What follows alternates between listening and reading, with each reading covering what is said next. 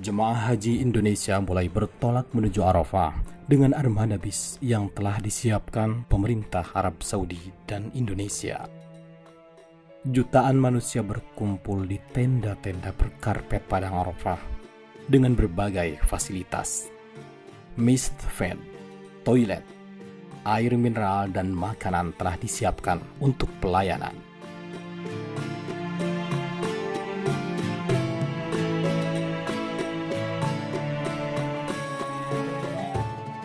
Amirul Hajj mengontrol secara ketat dan langsung meninjau ke lapangan untuk memastikan pelayanan yang maksimal.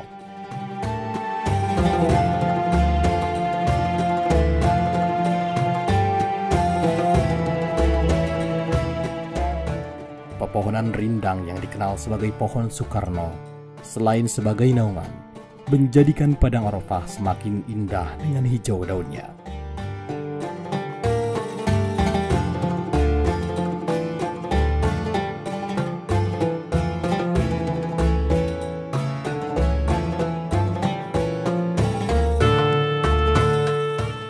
Petugas kesehatan dari berbagai unsur bersiaga di sebuah pos kesehatan Haji Arafah, lengkap dengan ambulan, tandu,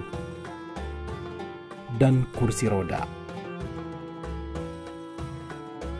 Berbagai peralatan kedokteran pun disiapkan sebelum jemaah tiba di Arafah.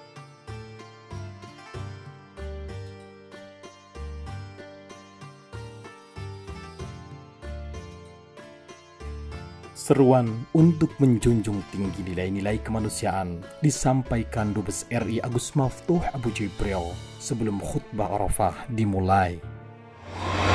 Fakam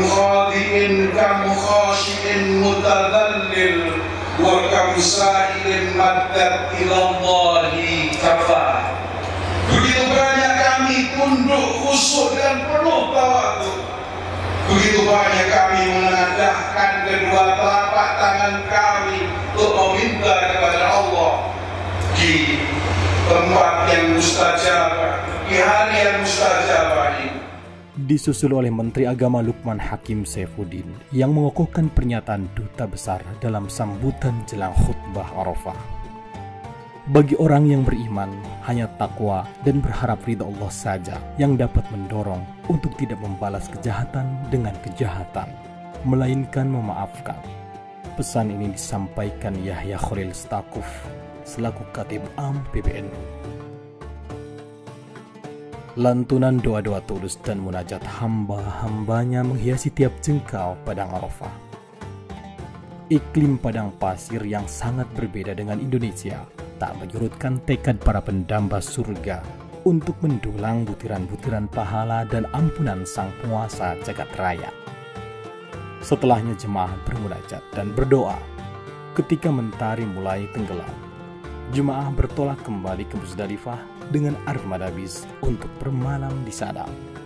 Dari Padang Arafah, tim penerangan kantor urusan haji PPH Arab Saudi